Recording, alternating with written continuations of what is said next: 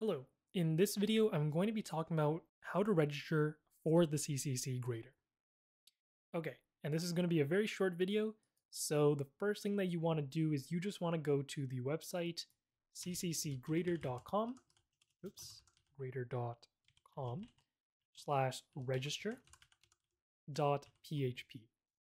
And so that's once again cccgrader.com slash register dot php, and you want to click enter. And what's going to happen is you're going to be prompted to this page like this. So once you're at this page, you want to put in your first name, your last name, your date of birth, school name or school number, email.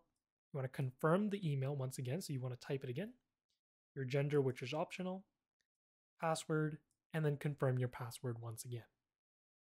So obviously, fill out all the necessary information and the one thing that's really important is the school number, which is right here. And so what's going to happen is you need to use your school's CEMC school number, which is what was used to register your school for the CCC. And so what you need to do is you need to ask your math or computer science teacher who has this number.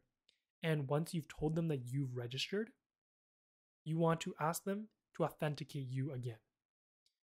So once you're authenticated, actually, you're going to get an email sent to the email that you typed in here, and it's going to look something like this. And note that you did not select any username. It's actually auto-generated for you. So the email is going to look something like this.